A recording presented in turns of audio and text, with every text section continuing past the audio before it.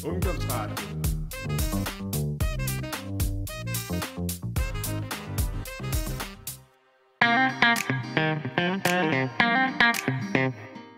Hello, everyone. You are listening to You've Got Five Options show with Marta and Anna. Join us while we are solving yet another life challenge. And if you decide to share your problem with us, yours can be next. Hello, everyone. This is Marta, And this is Anna. and there is no Lasse. And there is no Lasse. Yeah, I, I think that you have noticed that every couple of episodes Lasse is not here because we are recording uh, within the time frame where he has to attend a super important secret meeting at the radio station. Yeah, so no Lasse with us today Yes. on this episode, but we will do our best. Yes, because we are the friendship experts and we are having a friendship related challenge. And this is the second part of uh, that solution where we are uh, giving Caroline some inspiration on how she can approach her delicate situation with her friend. And uh, I do want to apologize for any background noises of coming from that secret meeting that apparently is not all that secret. No, no, because uh, it's actually quite uh, quite out there in open and actually too much in open. Yeah, I think we have to talk with them about the acoustics of the studio Yeah, that would definitely be beneficial. because I, I feel like I'm, you know, like I'm uh, next to some kind of a banquet or wedding because there is so much cutlery going on and some kind of laughs and stuff. So yeah, it's a it's a meeting connected with lunch. That's why so many sounds. Yeah, but anyway, we do apologize and we hope that you can still enjoy listening to our show. And yeah, let's just jump right Let's- into it. Let's just do it. So I will read the challenge sent to us by Caroline. At least this is her uh, name that she has stated. And again, as Marta mentioned, if you would like to hear, listen to part one, please visit our YouTube channel where we are posting all of our radio show episodes.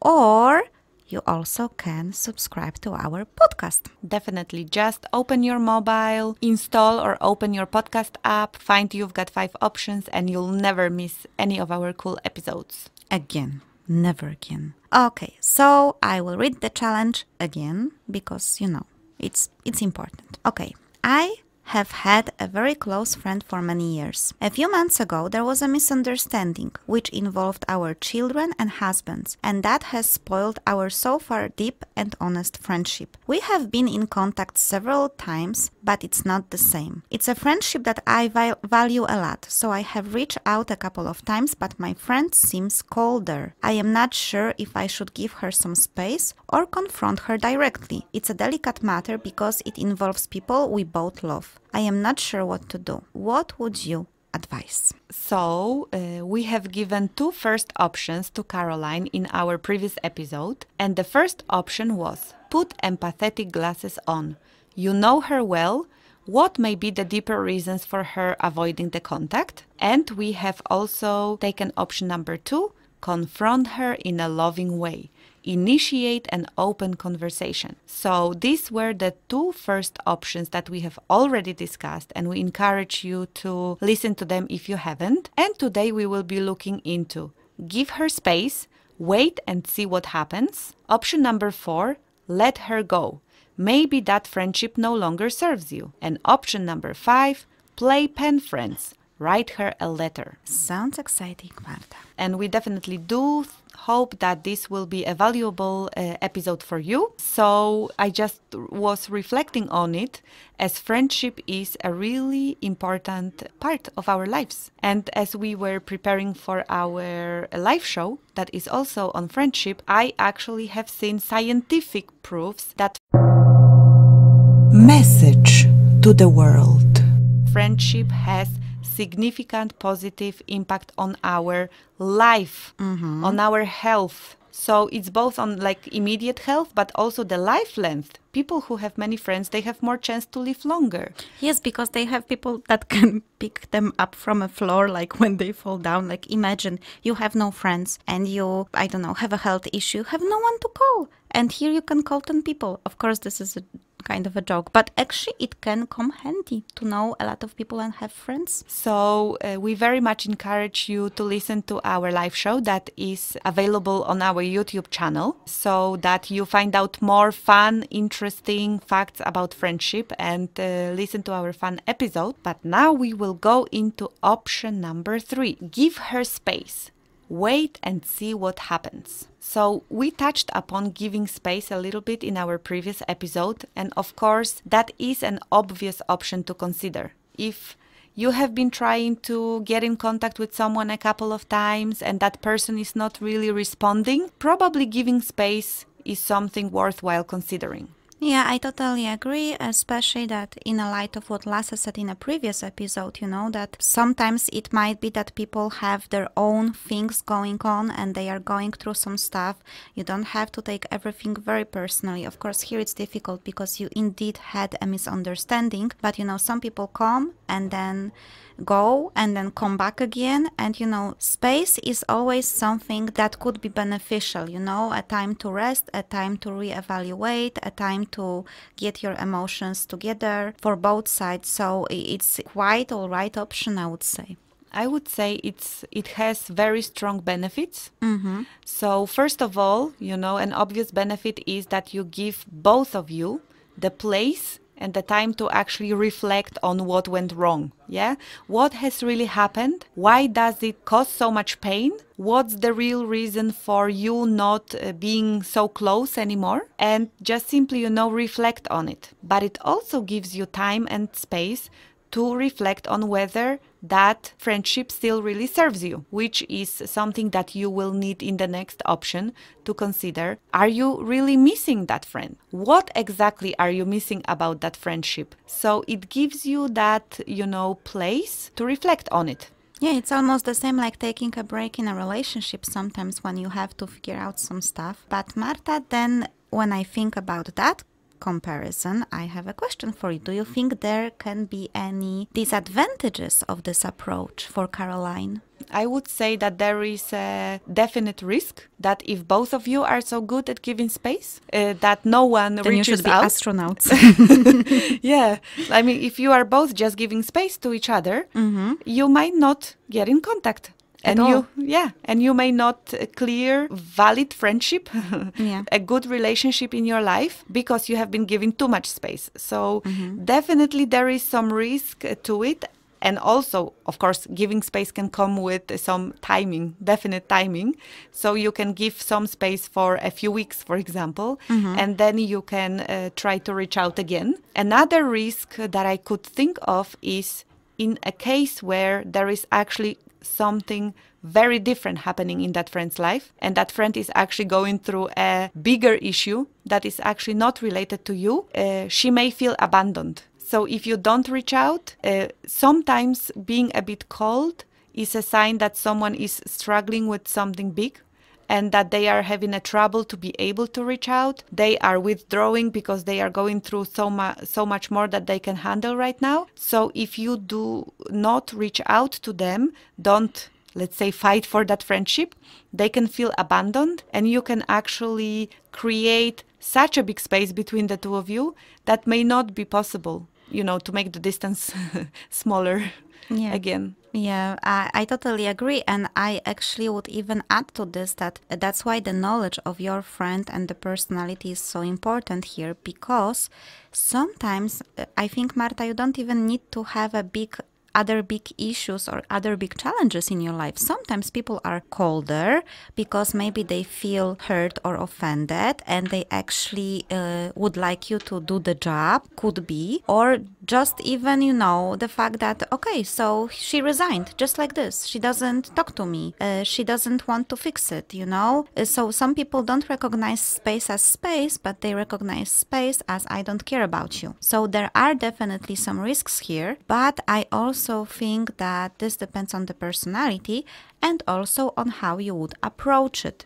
So maybe you could actually just drop a word that you know I have a feeling that our friendship is going through some different interesting period and we are a bit colder, maybe we should have some time to think about it. So basically, sounds stupid announcing or not like disappearing, just like totally not not contacting, and that's the idea of space, but just maybe expressing, you know, that maybe we should have some space from each other. I don't know. What do you think, Marta? Have you ever tried doing something like that in a friendship? Nope. I nope. have no, I haven't either. At least, of course, I have had situations where I was going distant with some of my friends, but I was living it this way. No, for me, I guess it's very simple. For me, it's either that friendship is worthwhile saving, mm-hmm. and I can give space, of course, temporarily, but mm-hmm. then I will go sooner or later and confront, or it is the case where I see that that friendship has been over. I have never tried like uh, announcing, Yeah. you know, let's take some time out because to me produces some bad emotions in me. Yeah. You know, when I think about it, when I try to imagine that I have to tell a close friend, you know, things have not been g- going so well, let's take some time off. It actually really feels like preparing for a breakup. So, exactly. No, but you know, the, the whole thing is that some people may actually want that, you know. There are different types of friendships in this world, and I will not judge which model is the best, but there are people who, like in relationships, in friendships, are also codependent. And if you have a friendship that is uh, not, yes, who is more codependent than interdependent, things are really being taken uh, very personally, and you almost feel like it's a relationship, just minus, you know, the romantic part. So uh, it all depends. And I think it's quite difficult for us to, to imagine this because I know you. I'm not the only friend you have. Believe it or not, guys, Marta has a lot of friends, even if her levels are high five, five subscribers. Ooh, yeah, we're so smart and funny. I not only know you in a relation uh, to to me or our friendship, but also how you manage your friendships, and you know me as well. And it, for for us, it would be weird to announce to someone, "Let's have a time out," because we, we have a different type of friendships. You know, I think most of our friendships are very interdependent or just like very uh, relaxed, granting a lot of freedom. Uh, but there are people who are in codependent friendships. So for that situation, maybe that would be good to announce it or agree on it. You know, just trying to think out of the box and really step out of my own experiences. Yeah, it could also invoke a reaction from a friend like, What? What are you talking about? I was just very busy and I have so much on my mind. I didn't notice that we were getting any cold. yes, and I'm colder because I have a flu. so yeah, exactly. That's that can also be a trigger for discussion. Yeah. Yeah, so definitely some uh, points to it.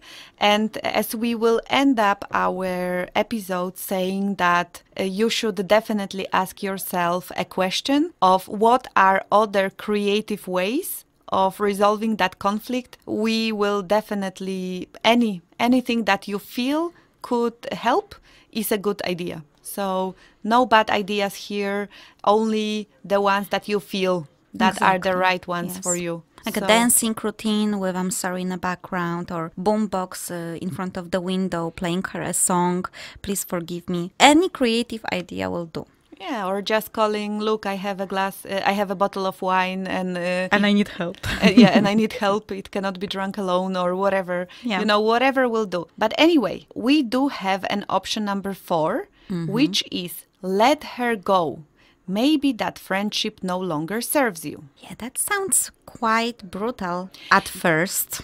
Yeah, it does. But you know, not all the friendships are meant to last a lifetime. Exactly. And I think I even said it at the beginning of the first episode that, you know, it exactly that's the whole point. That sometimes we stick in a relationships, friendships because we are used to or because we I, I think this is actually how frenemies sometimes are being created. So basically your friends that are your friends but they make you feel bad about you uh, for some reason due, due to their behavior and you keep on coming back to that relation. So I think that sometimes like in relationships we are in some friendships because of reasons like comfort zone being used to someone or being afraid we will not find other friends Yeah, it's a really, really valid question to ask yourself because the answer to that question is really the determining factor here on how to approach the situation. It's a really worthwhile analysis like how important is that friendship in your life really? Meaning, how much does it bring to you? Because it can be that you are meeting even often, but it's just plain meetings you don't actually gain that much out of that friendship. Maybe you don't grow uh, in that friendship at all. Maybe it's just plain same.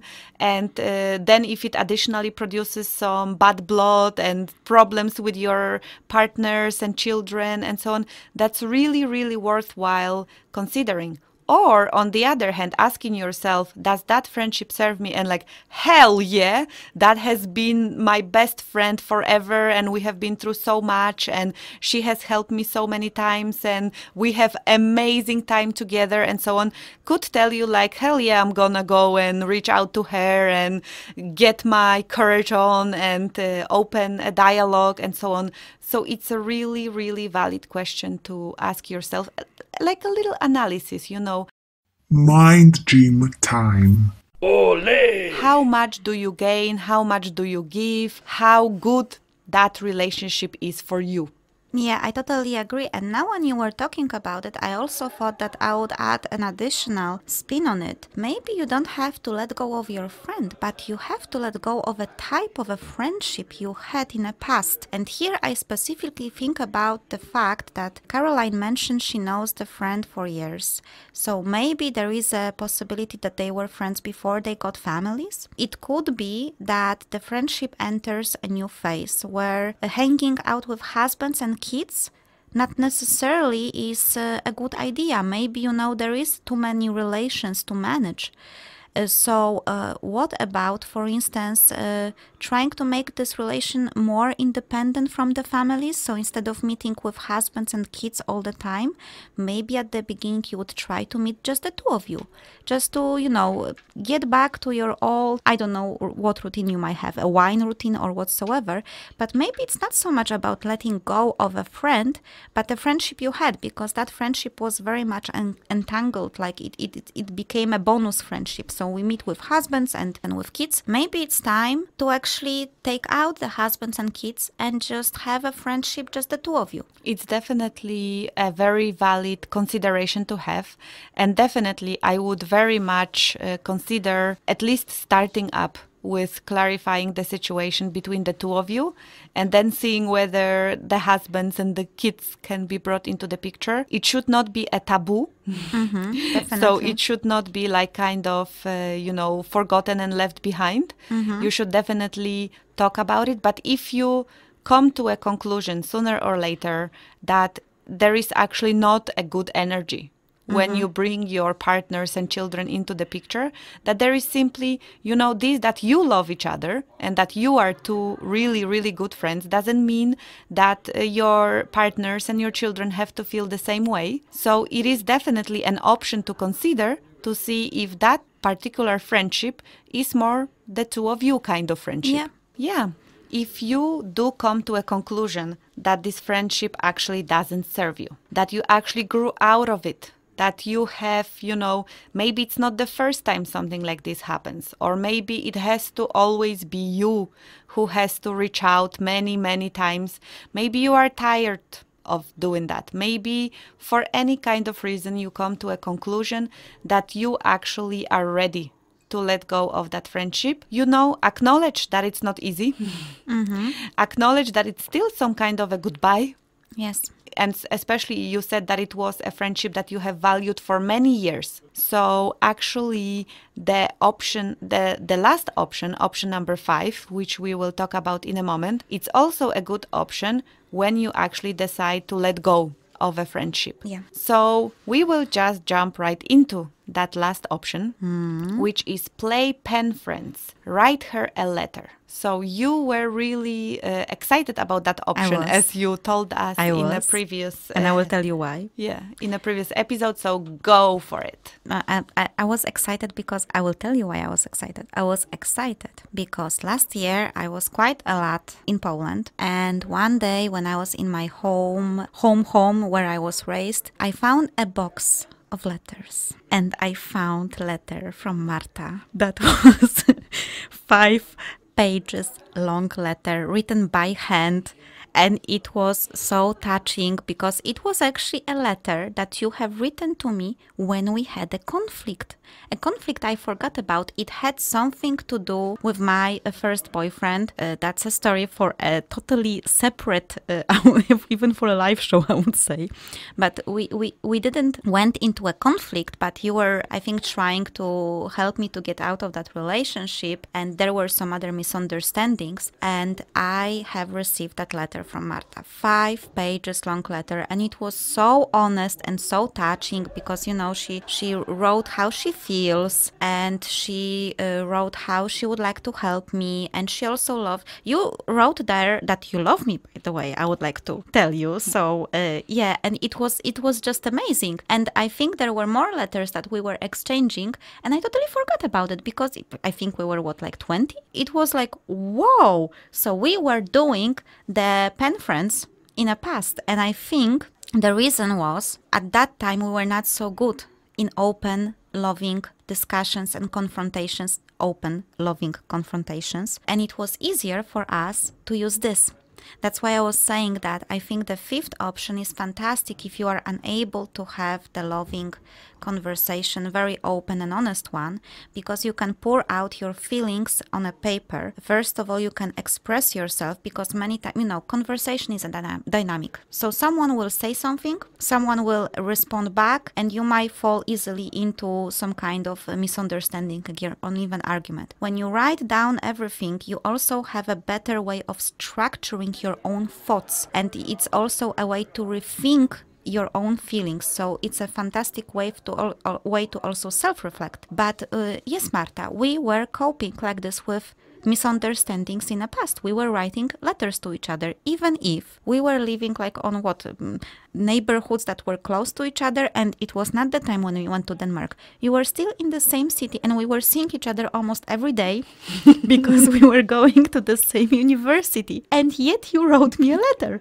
So and it worked. So really, like um, yeah good job marta. You you So- live you you lived uh, you are a living example that this option works especially when people are unable to yet have this open conversations which are always difficult. They are always difficult. Even now when we have to discuss something it's like wh- when you want to tell me something you get stressed because you have to say something and you are not sure you know how to express it. And it's it's uncomfortable.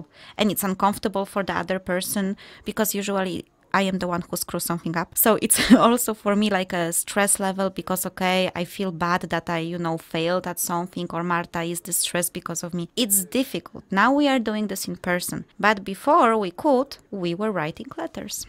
Oh, come on. You also sometimes tell me some things. I also screw some things up. And I think I am just mad. I also uh, worry about more things. So Than- than I I probably than than you do. So I probably also have more things that I need to clear. But leaving that behind, Did you love the story that I pull out your letter? yeah, I I should actually, see her face. uh, actually I was afraid what kind of letter might have I written because I remember writing many different letters and they were very often written on Polish classes in high school. Yeah, because then you could actually write a letter and pretend that you were making notes. Yes. Yeah, so uh, we were uh, actually, I remember communicating quite a lot, uh, but that, this was mainly funny letters. Yes. And no, no, but this one was like really uh, pouring my heart out and, and trying to reach out, letter. It was beautiful. Next time I will be in Poland, I will give it to you. Okay, that would be very so nice. you can you can see what you have written there. Yeah, thank you. That would be fun uh, Yeah. thing to see. But anyway, the obvious benefit of uh, writing a letter, you have Anna already said, you actually have the time and space to pour your emotions, to structure your thoughts, so you can communicate in a clear way. You have the time to actually think like, oh, is that wording really going to be a good one? You can rewrite the letter. You can really think about what's the real message that you want to send here. So that's the obvious set of uh, benefits. And of course, the other set of benefits is that you give the time and space to the other person to reflect back on it so that you don't get into that uh, say something, react Exactly. stuff, but you actually give that uh, space to reflect on what is being uh, really what's the message here. Yeah. And I did also mention that this letter can not only be used to heal the conflict between the two of you in order to go back to the same level of friendship that you've had before, but it is also good to use it when you are actually ready to close the uh, friendship. Yeah, because if some relationship has been a really long one and it is evaporating in this kind of, you know, cold way and you don't really know what's going on, it may be actually a thank you letter to someone. That is that's an amazing idea. Yeah. I haven't tried that before. No? though. Although maybe I'll, uh, although maybe after this show, some friends will, you know, Marta, you, you wrote me a thank you letter for the You end know, of the friendship. Marta, I have a whole box of letters. I haven't went through all of them, so let's see what's there. Maybe Maybe. I had some thank you letters.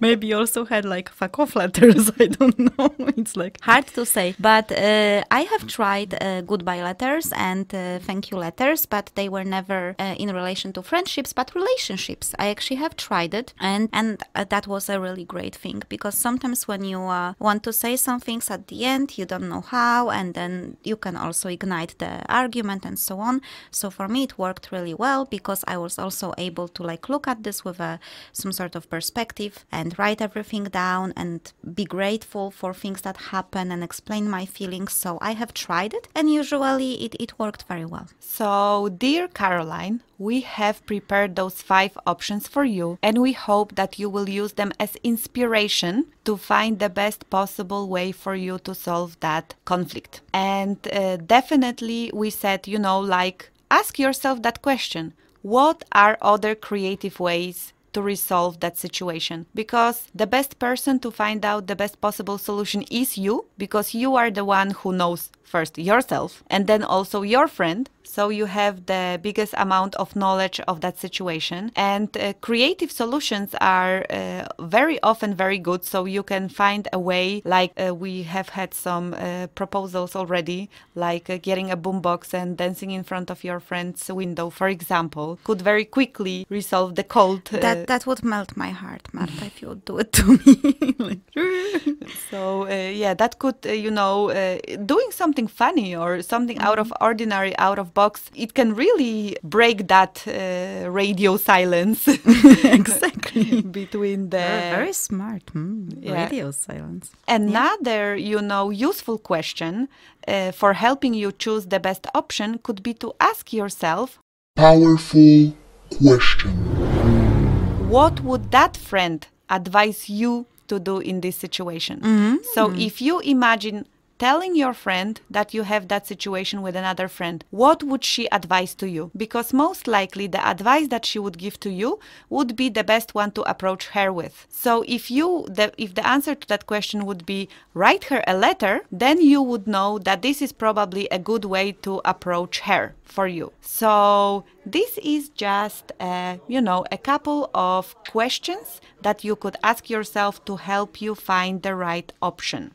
Marta Rodriguez Karpovich, I'm so impressed with the last one. Actually, this is a, a great one, great tip, you know? Imagine what your friend would advise you to do in this situation if that would not be about her. Boom. Yeah. Nice. Well, questions, I really love them. I think questions are extremely powerful tool. When we ask questions, we usually get the answers. Yeah. So asking the right question will give us the right answer. So I'm very, very much pro question asking. But mm-hmm. dear Caroline, We hope that you will be able to resolve that conflict in the most positive way for you and your friend. We are keeping our fingers crossed. You'll have that challenge described uh, uh, in a written form, so go ahead and visit uh, the5options.com so that you can find the written version. So, all the good luck for you. Thank you and goodbye. Bye bye.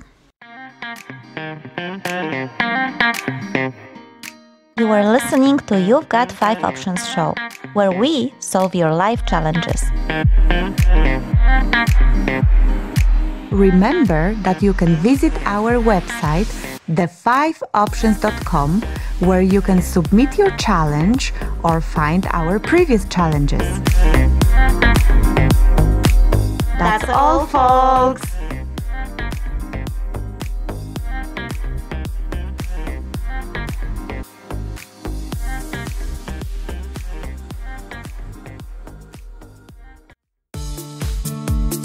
Du lytter til din lokalradio i Aarhus på FM 98,7 MHz og 89,5 MHz.